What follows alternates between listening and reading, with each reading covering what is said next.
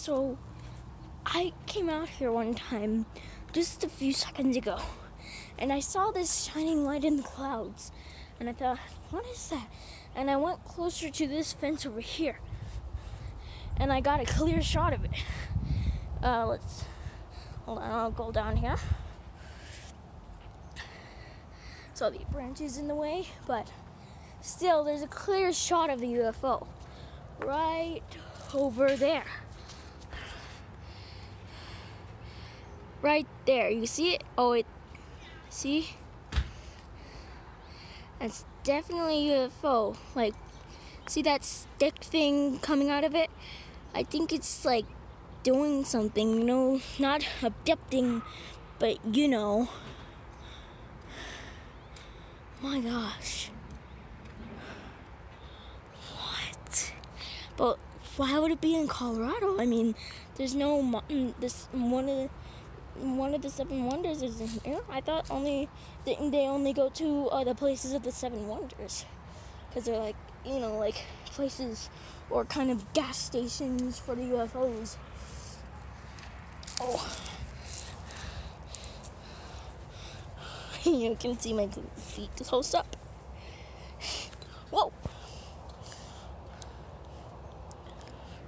So, uh, where is it? I gotta find it. Where'd it go? It's... Ow. Hi, I just found a UFO. It's over there. What? Somewhere. I I don't see it anymore. I think it's gone. But I, at least I caught it on camera. Can I see it? Hold on. Wonder if it's still there, just like I'm not seeing it at the right angle. Oh, hello. What are you doing, Dad? Hey, I saw a UFO. I caught it on camera.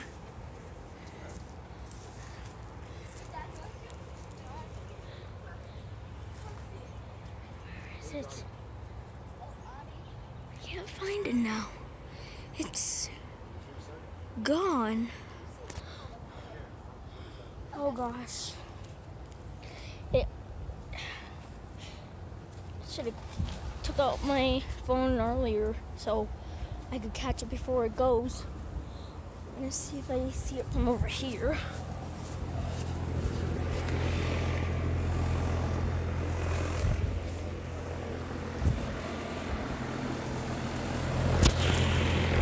I don't see it anymore, guys. I think it flew away already. I think it saw me recording it, and oh, there's a spider. There's the same spider! Spider, spider, spider!